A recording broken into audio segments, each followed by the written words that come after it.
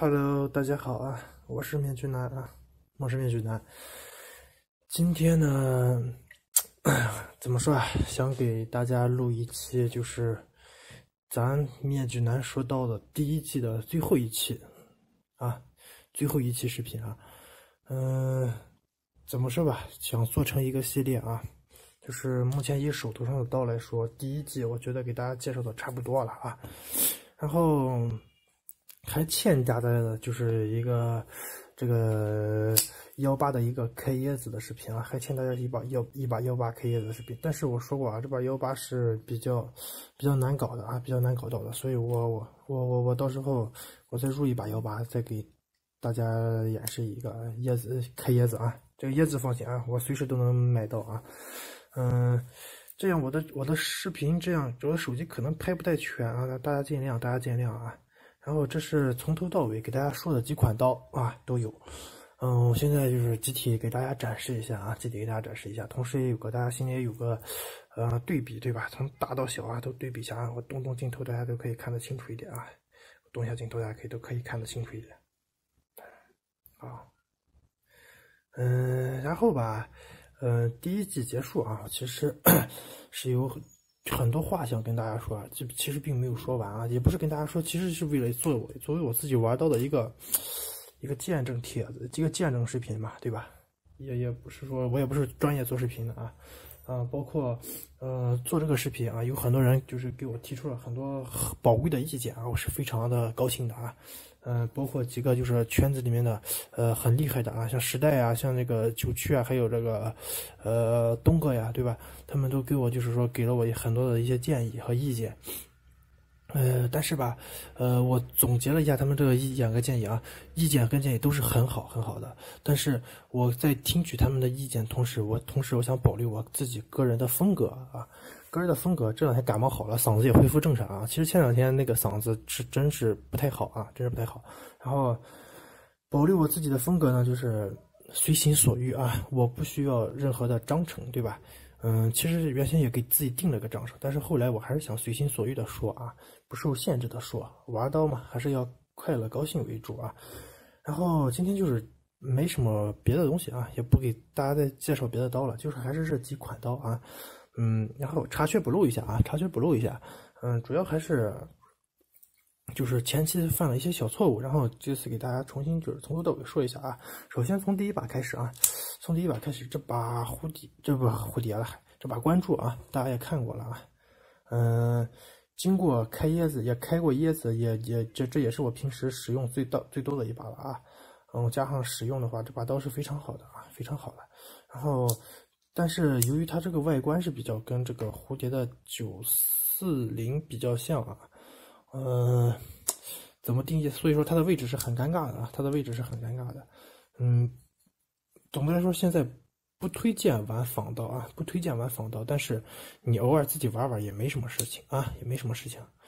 嗯，这把刀其实我当时说的已经我觉得够清楚了，加上它通过了这个这个开椰子的这个测试啊，是很不错的啊。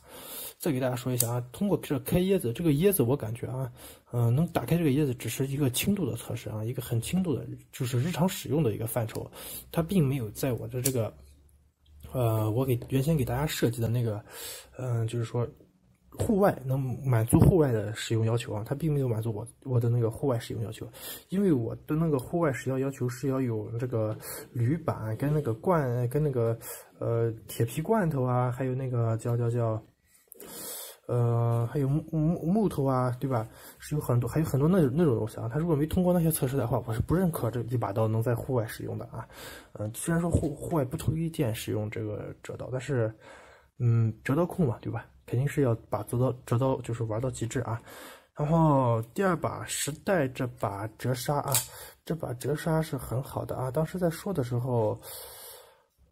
嗯，错误的地方也不多啊，这把刀也不多，因为这这两把刀都是我真正正正实际使用过的啊，实际使用过有很深的感受的啊，就包括日常使用，我大家也能看出来上面有使用的痕迹啊。现在包括时代要推出一款新的这个，呃，一个大宝剑啊，然后我是我也个人也是比较期待的，虽然我买不起啊，虽然买不起，但是个人也是比较期待的啊。嗯，看一下时代这个设计啊，嗯，好，这把刀也没什么。就是说错了的地方啊。然后没有说的太过的地方，说的太过。第三把这个关注这把小菜刀啊，这把是露面就露了一次面啊，出场是比较少的。这把刀主要是感觉它这个刀型比较比较怪异啊，我就拿来拿来这不就是买了，主要是实验一下，也没具体使用啊。这把刀是新刀，没有使用，连拆我都没拆过啊。嗯，还是不错的，总体来说还不错。但是嗯，你要买来用的话是不推荐的啊。第四把就开始这个国产原创，国产原创这个九曲的啊，这把。硬汉怎么来说呢？这是一把战术刀啊，战术刀，对吧？一把战术刀，很明显的一把战术刀。但是你说战术刀，我平常拿来使用吧，这个剃头也也也也不能说也不能说不能用啊，但是没水滴头那么好用，没水滴头那么好用啊。然后这把刀的亮点也很多，给大家也说过了，有也有缺点啊，也有缺点，也有缺点也有亮点，属于比较中等的一个产品啊，属于比较中等的一个产品。但是我个人还是还比较喜欢这把刀的，因为这把纯硬汉，说传这个战术风啊，传战术风，很喜欢的，纯战术中这把是，嗯，下面的话，这把我也没有用它开椰子啊，大家应该我当时也解释过啊，如战术战术刀开椰子啊，我是不推荐的啊，因为它的刀是比较尖的，就像我没有用这个时代来开椰子一个样啊，就像没有用时代来开椰子一个样，因为这种刀刀尖都是很尖的啊，你用这种开椰子，你基本上就百分之百弯或者是断，对吧？因为它前端太细了，前端太细，加上这把刀的开刃是很薄的啊，很薄的一个开刃，开刃方式啊，是一个切片打磨的啊，一个切片打磨的，所以说这把刀我就不会给拿再给大家拿来开椰子啊，因为它不行，我非得非得拿拿它来开椰子的话，那就是毁刀啊，我个人是非常呃不推荐毁刀的啊，毁刀测试的，嗯，当然，呃个别除外啊，但是但是这把刀的话。定位定位就是战术刀，你如果把它去做毁刀的话，那就违背了它的这个设计本意了啊，这个是很不好的啊。嗯，另外说一下这把的手感也还可以，手感也还可以啊，除了这个背夹稍微刮手一点，别的都还不错啊，别的都还不错。嗯，下一把海啸，海啸应该大家也是比较熟悉的啊，这这一阵也是比较火的啊，在各个地方我也给大家做过这个开椰子的视频了啊。嗯，海啸这个其实我我感觉还有一个小优势啊，就是各种。呃，除了测试它强壮啊，还有切削能力之外啊，还有一个小优势就是它的 DIY 留给玩家的空间还是有的啊。近期就出现了，就是海海啸呃这个海啸的。呃，各种颜色的柄啊，烧钛啊，对吧？各种颜色背骨啊，这些东西啊，还有快开旗啊，都能烧钛啊。之前还有一个小错误，说是海啸是首创了这个可拆卸式快开旗，其实这个是不对的啊。因为钢狮有一款好像是有有可以可以拆这个快开旗，但是拆卸方式是不一样。但是我还是比较比较喜欢它这个设计的啊，这个设计是非常不错的。嗯，还有别的吗？海啸，海啸就是这个说的就是这个锁了，这个锁的问题啊。大家上次也看到了，非常强悍，你只要把这个锁打过来之后。基本上海啸的用到现在啊，不点不摇，不点不摇的，真是不点不摇的。但是我也在拆卸过程中发现了几个，也不能说是缺点吧，就是只能说是，嗯，小不足啊，几个小不足的地方，就是，嗯，它的这个，这个这个定位孔，对吧？这个定位呃刀片上的定位孔。在由于这个刀是设计的是那种就是比较开放式的轴承，一个开放式的轴承啊，它那个滚珠啊容易滚到这个定位孔里面。我我我就滚进去了一次，我滚进去了一次，但是我这个管比比较浅，发现的比较早。我用一个反冲力，对吧？把这样刀片拿着拿着，这样一下子反冲力把那个轴承给冲出来了，还是比较不错的啊，还是比较不错的。嗯，这个需要以后再注意一下啊。如果用这种开放性的话，最好是定位孔的轴承。嗯，跟这个呃，不对对对，这个这不是定位孔了，这个呃定位的这个轴承啊，锁定上的这个轴承，呃这不是锁定上的这个陶瓷珠锁定珠啊，跟这个呃呃整刀的这个轴承啊，最好不是用的一个型号的。如果用的一个型号的话，有好处也有坏处啊，可以随时换。但是如果用的不一个型号的话，它容易。用同一个型号也有一这个错误，就是就失误，就是怕滚进去，一滚进去很难搞出来啊！一般靠玩家的力量是很难搞出来的。加上有些新手或者是比较着急的那种玩家，一摁马上就把摁死了啊，很难搞，很难搞啊。嗯，同样这个问题我要说一下，这个这个就是在这个辛德勒这个岛上啊，就是在这辛德勒没没打开啊。就是就在这个辛德勒这个刀上，它这个定位孔啊是互通的啊，是通过去的。就是如果定位孔卡里卡到卡进珠子去了，你可以在另一边用这个顶针，对吧？把这个珠子给顶出来的啊，这是一个很好的一个设计啊。嗯，然后再说一下，呃，这个海啸还有什么问题吗？海啸当时说的时候说手感啊，手感其实当时皮椰子啊，大家也看到了啊，因为我用的力比较大，说这个地方稍微有点硌手啊，其实其实还好啊，其实还好，不是说硌手那么很强烈，让我没有使用下去的欲望啊，还好，整个海啸握持起来是很舒服的，包括它的它的这个背齿啊，这个这个这个防滑齿做的是很都是很好的。都是很好的海小，这是这是我近年来买到国产里面最满意的一把了啊！这是近年来买到国产里面最满意的一把，也是用着最放心的一把啊！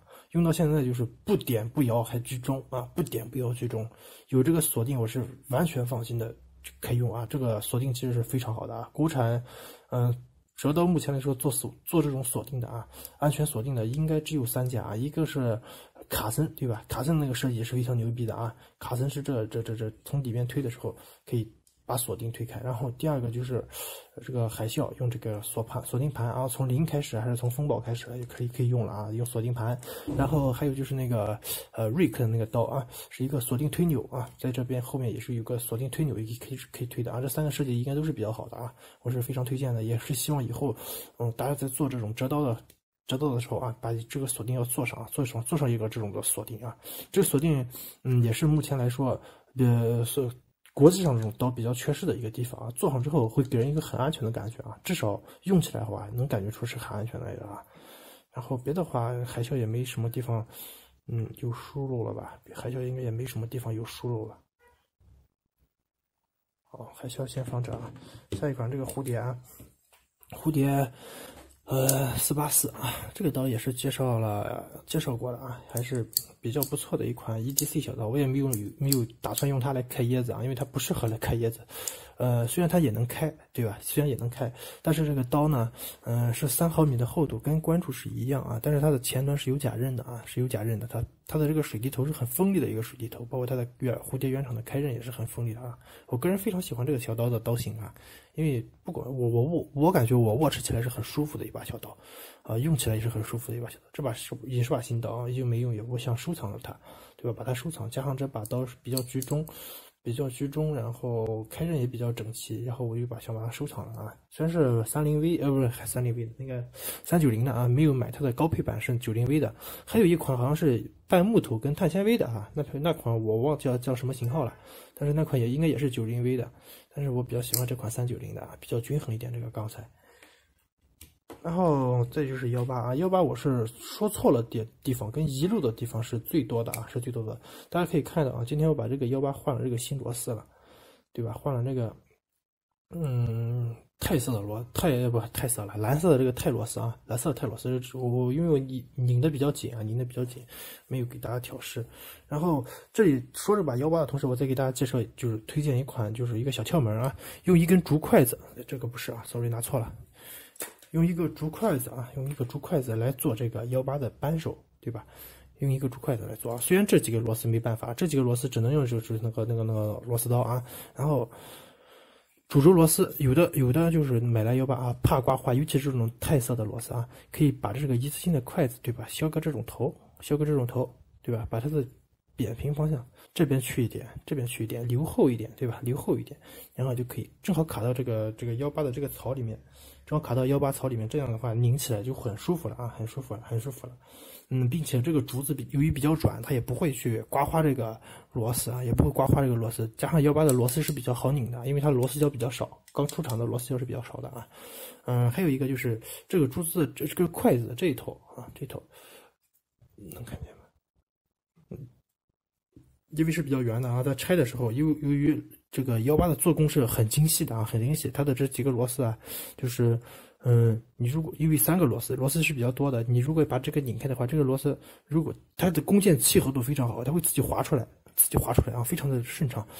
嗯，而而这个隔珠呢，就会隔在这中间啊。比在安装的时候吧，大家可以把隔珠放上，然后由于隔柱它的位置不准确啊，用这个再稍微一弄，对吧？一弄。一弄它，然后隔住跟这个螺丝孔保证冲的严丝合缝啊，然后再把这个一对，然后把这个螺丝一拧上，就很很轻松就安装安装成这个拆装工拆装工作了啊。现在我给大家调试一下这个主主螺丝啊，幺八是需要调试的啊。一般出厂的话，它会给你调试的比较好，但是啊，个别的是需要自己调试一下。看我稍微调试一下啊，快开就非常给力了。嗯，然后看一下啊，居中的，对吧？刀片是居中的啊，这个不需要再做多过多的解释了啊。上期给大家解释的是比较多了啊。快开是稍稍稍加调试，快开就会非常给力啊，并且依旧是居中。最后这一把啊，因为我昨天心情不太好啊，给大家解释的不大清楚啊，就是主要这把刀时间长了也没用了啊。轻纸钢的一个呃肥合手特大号啊，肥合手特大号，嗯，这把刀用起来是很舒服的啊，用起来很舒服。但是我推荐用来练习磨刀啊，用来练习磨刀，因为我的磨刀技术就是通过呃这把刀练习出来的啊，通过这把刀练习出来的。嗯，还有昨天给大家介绍那个小敲门啊，就是用这个牛皮在里面隔三块啊，我隔这边隔了一块，这个地方隔了一块，这个地方隔了第三块，能看清楚吧？里边。我看不太清楚，反正是啊，反正看不太清楚。然后我隔了三块牛皮，这样的话，这把刀的话，它碰下来的话，就不会碰到这个铜柄了。然后就是刀刃跟牛皮接触啊，是把这个牛皮夹在里面的啊，并把刀刃夹在里面，并不是说让这个呃刀去切这个牛皮啊。嗯，所以到现在了这把刀依旧可以短发啊，依旧可以短发。